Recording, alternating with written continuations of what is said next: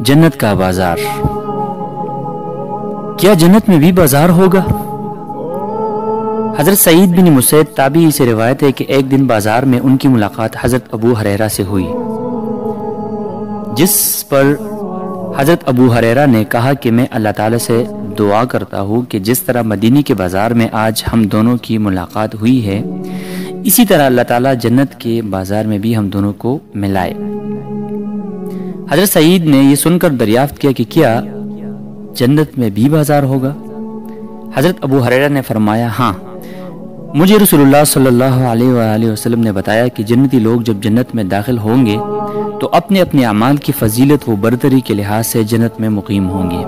یعنی جس کے اعمال جتنے زیادہ اور جتنے اعلیٰ ہوں گے، اسی اعتبار سے اسے بلند تر اور خوب تر مکانات اور منازل ملیں گے۔ پھر انہیں دنیاوی ایام کے اعتبار سے جمعہ کے دن اجازت دی جائے گی اور وہ سب اس دن اپنے پروردگار کی زیارت کریں گے، جو ان کے سامنے اپنا عرش ظاہر کرے گا۔ جنتیوں کو دیدار کرانے کے لیے وہ جنت کے ایک بڑے باغ میں جلوہ فرما ہوگا۔ اس باغ میں مختلف درجات کے ممبر یعنی نور کے ممبر، موتیوں کے ممبر، یاقوت کے ممبر، سونے کے ممبر اور چاندی کے ممبر رکھے جائیں گے۔ جن پر جنتی بیٹھیں گے یعنی جو جنتی جس مرتبے کا ہوگا، وہ اسی لحاظ سے اپنے ممبر پر بیٹھے گا۔ نیز، ان جنتیوں میں سے جو جنتی کم مرتبے کا ہوگا، وہ مشک و کافور کی ٹیلوں پر بیٹھے بیٹھے گا۔ لیکن ٹیلوں پر بیٹھنے والے لوگوں کو یہ احساس نہیں ہوگا کہ وہ ممبر اور کرسیوں پر بیٹھنے والے لوگ جگہ و نشست گاہ کے اعتبار سے ان سے افضل ہے حضرت ابو حریرہ کہتے ہیں کہ میں نے دریافت کیا، یا رسول اللہ صلی اللہ علیہ وسلم، کیا ہم اس دن اپنے پروردگار کو دیکھ سکیں گے؟ آپ صلی اللہ علیہ وآلہ وسلم نے فرمایا ہاں یقیناً۔ کیا تم دن میں سورج کو اور چودویں چودوی رات میں چاند کو دیکھنے میں کوئی شبہ رکھتے ہو؟ ہم نے حرض کیا، ہرگز نہیں۔ فرمایا، اسی طرح تمہیں اس دن اپنے پروردگار کو دیکھنے میں کوئی شک و شعبہ نہیں ہوگا۔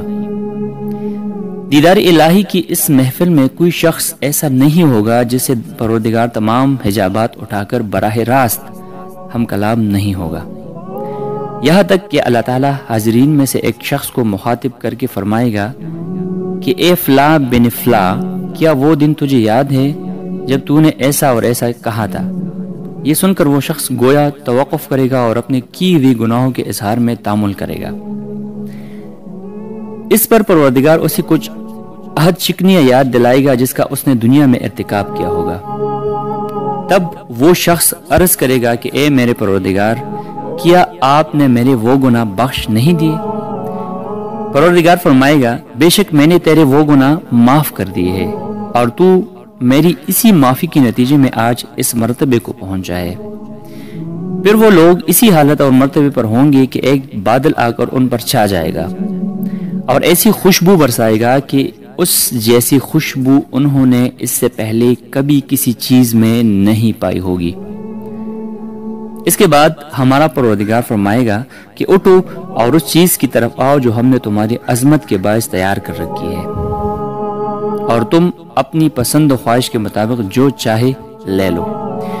یہ سن کر حضرت محمد مصطفیٰ صلی اللہ علیہ وسلم نے فرمایا کہ جنتی لوگ اس بازار میں پہنچیں گے پہنچیں گے جس جیسے فرشتے گیروے ہوں گے۔ اس بازار میں ایسی ایسی چیزیں موجود ہوں گی کہ نہ کسی آنکھ نے دیکھی ہوگی کان نے سنی ہو اور نہ کسی کے دل میں ایسا تصور آیا ہوگا۔